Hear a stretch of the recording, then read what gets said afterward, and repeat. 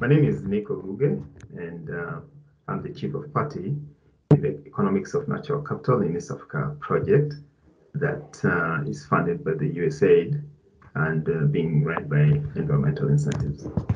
One of the um, experiences that I had when uh, I was a young person and uh, I was going to secondary school was a beautiful view of Kilimanjaro and I could view it from uh, my school, maybe uh, some 200 kilometers away from Kilimanjaro. But you could just, on a clear day, you'll see Kilimanjaro with the snow peak. And um, my just recent experience, uh, just overflying Kilimanjaro, I, I couldn't see any glacier left. So that is uh, a massive impact that it's going to have in the region because um, the the glacier provides the region with a consistent flow of water.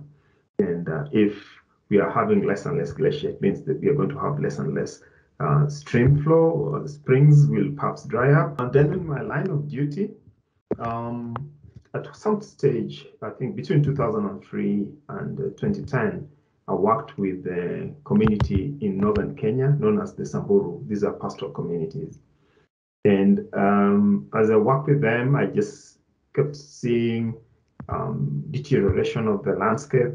And um, I remember, um, I think this could have been in 2006 when we had such intense drought period that um, this Grevy's zebra started contracting um, disease, disease. And, and this was based on, you know, basically having no food and therefore trying to graze too close to the soil and the soil uh, has this bacteria that was getting into their mouth and then they were having this uh, hemorrhagic disease.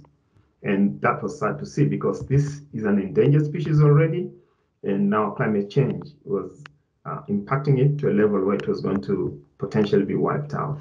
The economics of natural capital uh, project in East Africa essentially uh, is undertaking the analytical assessment of uh, the natural capital in four priority landscapes in the East African Community region. The East African Community has uh, six partner states.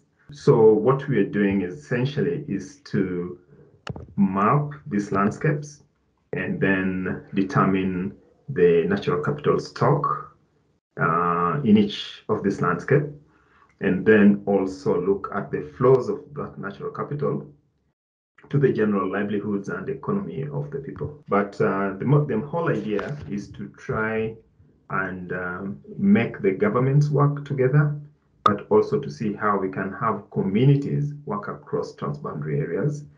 And uh, thirdly, to see how we can enjoin the private sector to support uh, community initiatives uh, in a way that is beneficial to the communities, to the private sector, and to environment.